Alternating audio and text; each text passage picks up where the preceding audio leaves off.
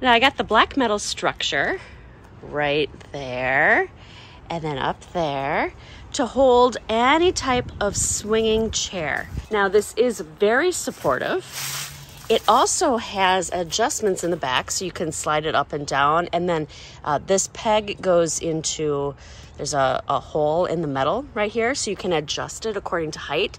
All the way up, it did actually hit the top of my pergola. It has a lot of height. It is heavy duty, strong, and it does not come with, with this chair. It just comes with the metal brackets, but this is a perfect way to um, have your swinging chair hanging free from being hooked onto any um, like supportive brackets like on a pergola or on your house, anything like that. Because this is freestanding and then it does come with all these metal coils up there that are springs. And then it does have a hook. And then it does come with another hook too if you needed to have something else hanging from it to uh, support a chair.